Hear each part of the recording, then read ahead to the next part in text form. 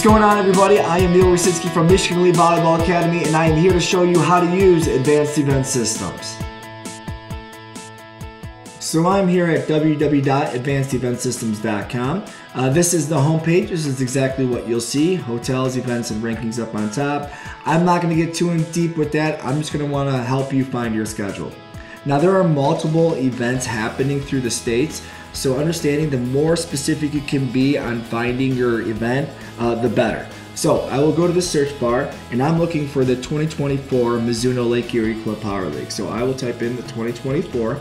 As you see, I have multiple things popping up, but not the one I'm looking for. The more I go into specific, to the Mizuno, and now I got multiple Mizuno, and right on top happens to be the Lake Erie Club Power League. So that's perfect. I will click that event, and it will send me to this opening page.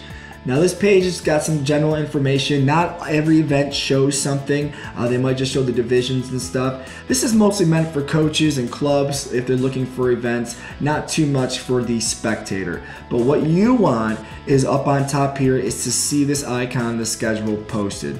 This link will send me to the next page, uh, which will give me to the schedules. Now, you might click an event and come here and this might not be here.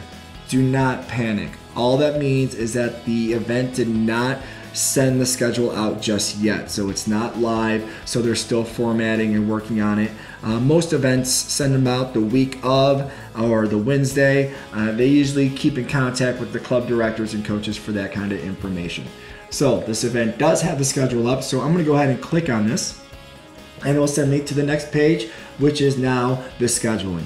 I have all divisions here on the left, uh, pools and brackets, the list of teams, the standings, how they're doing during in the event, uh, going through. Uh, now I can go a little more in depth here and maybe looking for a team here. I could search it here if I wanted to. Just like I said before, if I type in Michigan Elite, as we know it's a big club, uh, there are multiple teams that have the Michigan Elite title. So obviously if I go more in depth with Training 12 pipeline all that, it will find them quicker. So that's one way to do it. The other way is obviously just going to this division area and I'm gonna go to the 15s and I will click pools and brackets.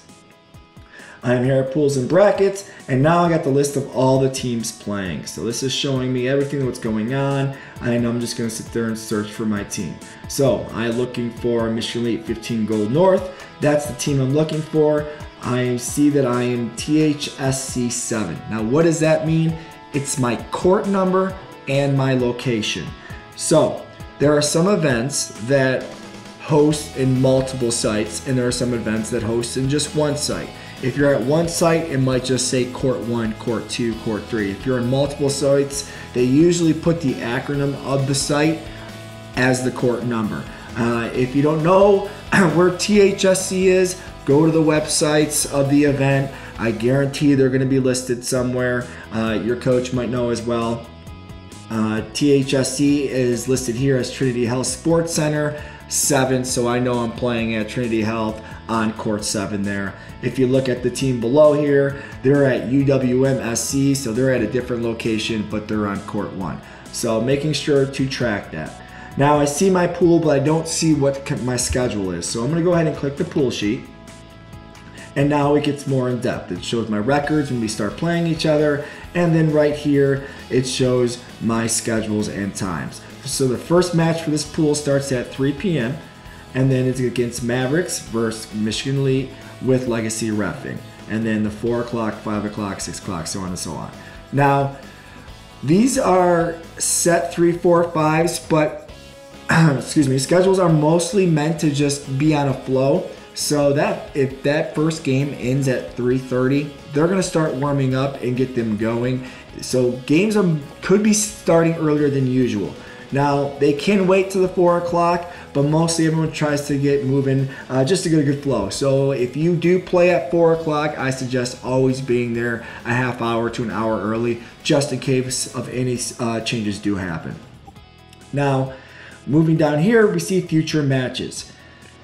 Now, future matches, I can see here if I took first, I'm going to round two on January 27th, and, and go so on and so on or it could take me to a playoff. So understanding always important when you finish your pool to look down here, see your team listed, and see where it sends you next. And you can see I can click on one of these, it'll send me to where I gotta go. I might have to do a playoff game, or I might not play until tomorrow, or a future date in the past. In, in the, excuse me, a future date.